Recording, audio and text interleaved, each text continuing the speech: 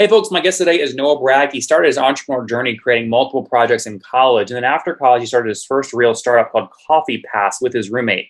It was an app like the Starbucks app, but for local coffee shops. After working at that startup for two years, it was acquired. Now, Noah is indie hacking, building businesses at a similar scale and can at least work for him uh, and his family. Potion.so is his current focus. It's a website builder built on top of Notion. All right, Noah, you ready to take us to the top?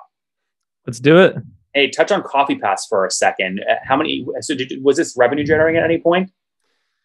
Yeah, so it it wasn't a ton, and that was kind of one of the problems with the business. We had around 25 coffee shops that were using it, but we were probably only doing like $300 a month in our own profit. Um, a lot of the money, you know, was going to the coffee shops, and that was, you know, uh, the revenue for them. So it wasn't making a ton of money, and that was one of the problems we saw with the the business. Mm-hmm. Interesting. Okay, so let's let's jump into Potion now. So, I mean, should we think about this like Weebly or Wix or Squarespace, but for Notion? Yeah, basically, I mean, it's it's a website builder. You can build really, you know, tons of different kinds of websites with it. But yeah, it's built on top of Notion, so you kind of use Notion to put in your content, kind of create your basic layout, and then with Potion, you can add some extra custom like styles and design on top of it um, and it hosts it for you. So yeah, it's it's a it's a pretty cool kind of website builder. I'm having fun creating. What are companies paying you on, or people you know builders creating you on average per month to, to use the tech?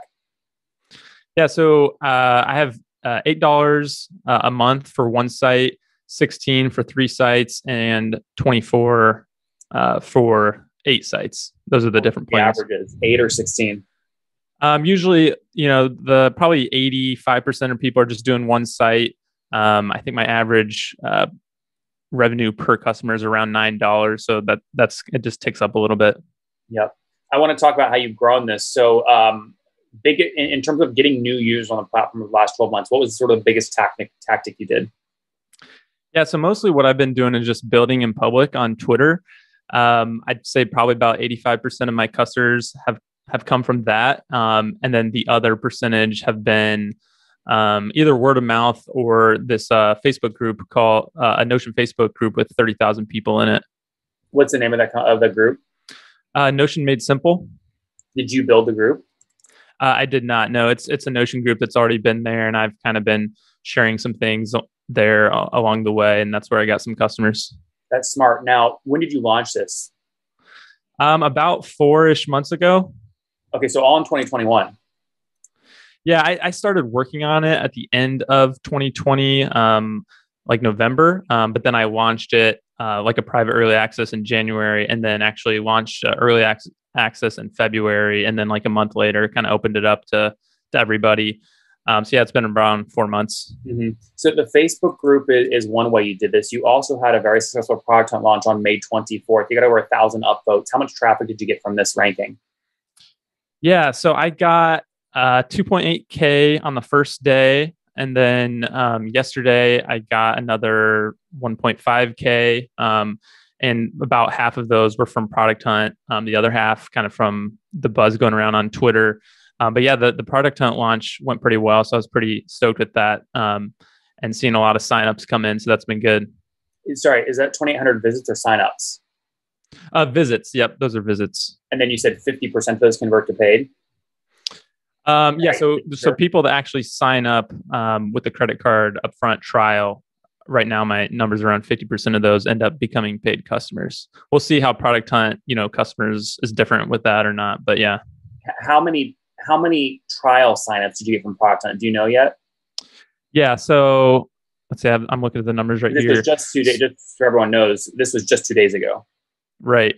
Um, so yeah, day of, I got 39 signups with credit card up front, and yesterday, so the day after, 26. Okay, so so not horrible. I mean, that's that's that's pretty darn good. That's what is that 60 about 60 uh, signups. Now the question is, can you get more than 50 percent of them to convert?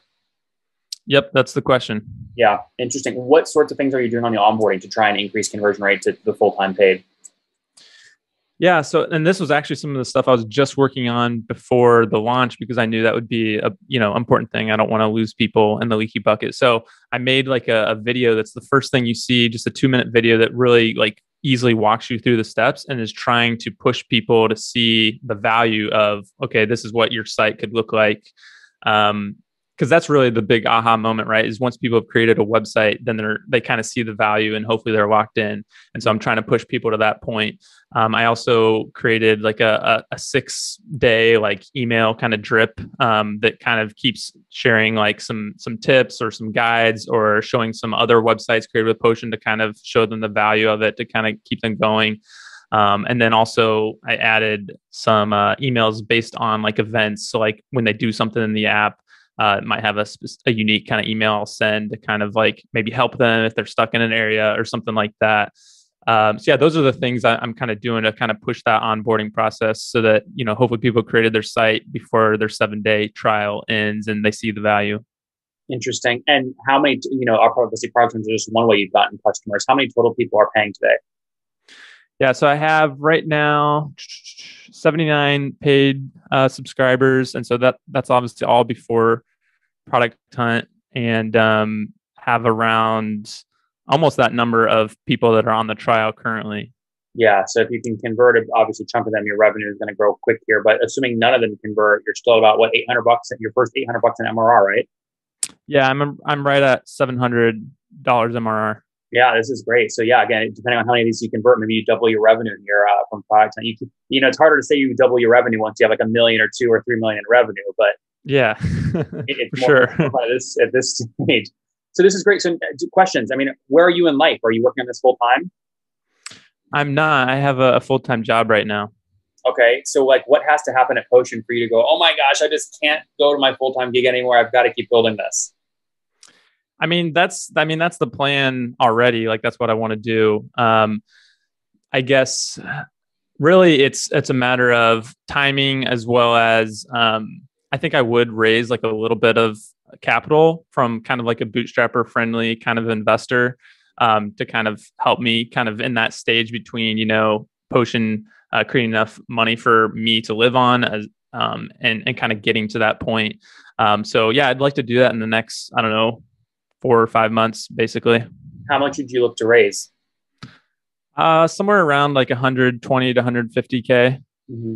And you definitely sort of want to go down. You you know that's you're going to give up 10, 15, maybe 20 percent of the business, and then really be on that VC track. Is that something you'd go down, or would you look at some of the alternative financing options? Yeah, so I don't want to go on the VC track. Um, I'm more interested in investors like Tiny Seed or Earnest Capital, things like that. Mm-hmm. Yep.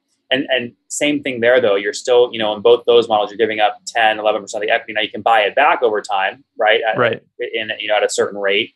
Um, but are you? I guess you're not opposed to really giving up equity to make that happen. Yeah, no, I'm not too opposed to that. Yeah. Mm-hmm. And why do you need that much capital to be able to pull the trigger and jump into this full time? I mean, are you able to? I imagine you're able to keep your personal expenses pretty low, so you have enough runway. Yeah, I do. I mean, it's it's a matter of the kind of company I want to build isn't, you know, I'm not trying to build the next unicorn or anything like that. And so I want to, you know, I want to build like a calm kind of uh, business that I can enjoy that, you know, works at least for me, hopefully a small team at some point. And um, I think just, you know, kind of taking it slow a little bit uh, makes sense. Um, some, some of the other reason is I actually have uh, some stock options with my current company that come about October. So I'm also kind of waiting for that. But that October cliff. All right, cool. Um, all right, let's keep going down the, the, thing here. So you're, you're working on trial to conversion rate. We already heard about that. We we talked about some of your early launch strategies. It's just you right now, correct? Right. And you own 100 percent of the business. Yep. That's great. Um, I mean, w- what's the plan? How do you go from you know 100 customers to 500 customers? Yeah. So, I mean, obviously, Twitter has been my kind of main place, and I'll, and I'll keep to kind of build in public and do that there. Hopefully, like I've definitely seen some word of mouth kind of happen on Twitter from that kind of stuff. So I'll keep that, but I definitely want some more, you know, channels to grow. Um, so one of the things I've been starting to look at is like affiliate marketing, partnering with other like Notion creators. There's quite a few of, you know, a few people in the Notion space that have um, you know, decent sized audiences. So if I can partner with them in some ways, I think that can be a really good way to get new people seeing what I'm up to.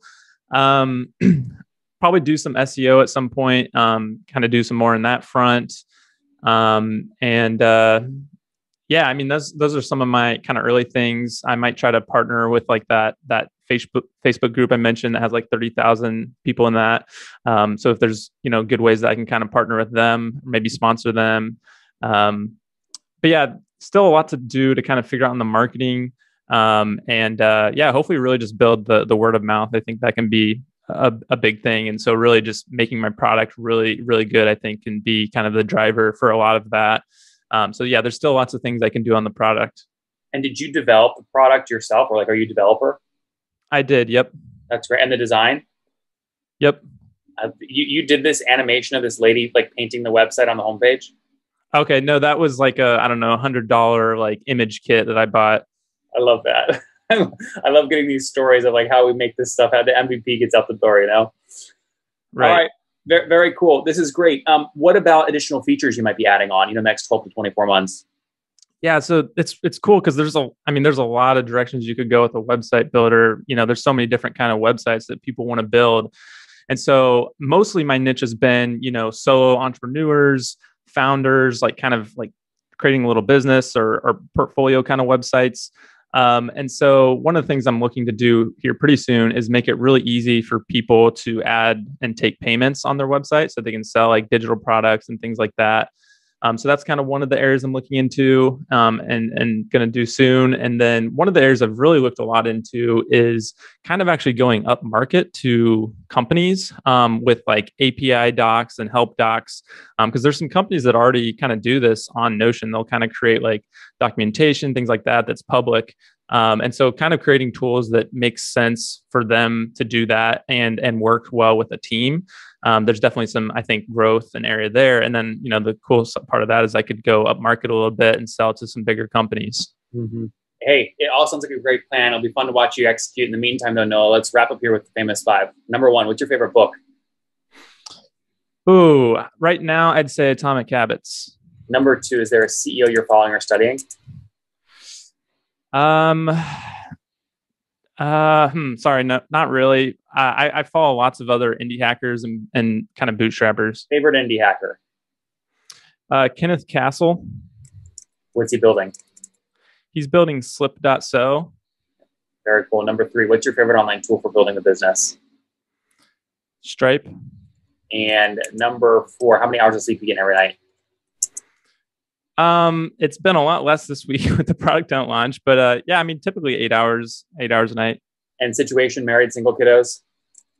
Yeah, I'm married and have two kids. Married with two kids. Okay, and how old are you? I'm 26. 26. Last question. What's something you wish you knew when you were 20? Um, I guess I wish I I knew just how much opportunity there is to kind of kind of go and do your own thing guys. It's, it's crazy once, yeah, it's crazy once you see like just how much you can do, um, kind of being an entrepreneur and stuff, and and seeing all the possibilities uh, instead of just being on like the the college track. Guys, Noah Bragg, potion.so, build your website quickly in a no code way right on top of Notion. He got his first customers by hustling on his Twitter account, then did a product hunt launch last week, added about 79 new trials, hoping about 50% convert to paid. Currently, 80 people paying about 10 bucks a month, so about 700, 800 bucks a month in revenue. He's hoping to scale this and ideally get it to the point where he can leave his full time gig and build this full time. Noah, thanks for taking us to the top. Yeah, thank you, Nathan.